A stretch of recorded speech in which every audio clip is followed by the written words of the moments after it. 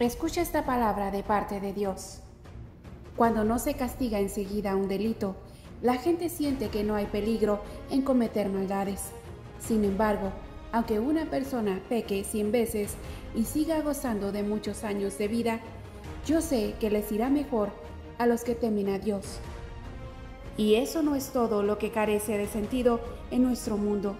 En esta vida, a las personas buenas se les suele tratar como si fueran malvadas y a las malvadas como si fueran buenas. Eso no tiene ningún sentido. Entonces sugiero que se diviertan, ya que en este mundo no hay nada mejor para la gente que comer, beber y disfrutar de la vida. De ese modo tendrán algo de felicidad junto con todo el arduo trabajo que Dios les da bajo el sol. Pues hay un tiempo y un modo para cada cosa, incluso cuando uno está en apuros. Además, ¿cómo puede uno evitar lo que no sabe que está por suceder? Nadie puede retener su espíritu y evitar que se marche. Nadie tiene el poder de impedir el día de su muerte.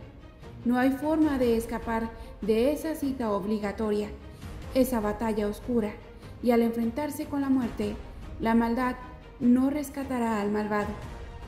Aquí culmina el relato. Mi conclusión final es la siguiente.